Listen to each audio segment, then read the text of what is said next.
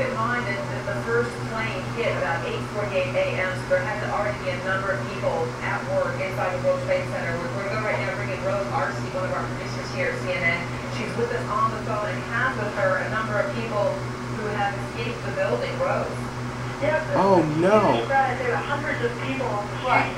It looks like that there's more fire in the second building starting to rise up the. There's more smoke from the first building.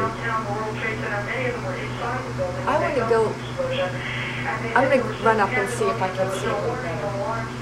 Everyone just raised from ran downstairs, and now there's a steady stream of folks running away from the building. Some people saying that they're fearing of the other explosion when they saw the second plane convinced that this was dangerous. There's, there's an absolute flood of downtown Manhattan right now.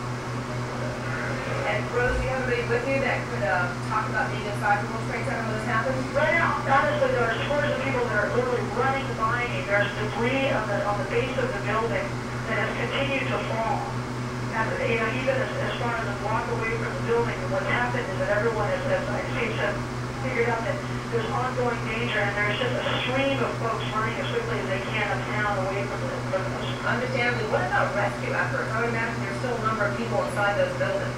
Well, right now, what you see is there's there's uh, trucks trying to get through, and, and people have actually jumped from the ground. They're trying to help direct traffic to try to get emergency vehicles there. There's no traffic going in the other direction, but because of the flow of people, it looks like some emergency vehicles are actually having trouble getting to the scene. And from where you're standing, is there any kind of command center, any place that people are being directed toward? Right now, what there is is there's a crush of, of emergency vehicles and rescue vehicles, but they don't seem to be quite organized in any direction. Um, there's fire department vehicles on the one side where you see the smoke coming out of the building.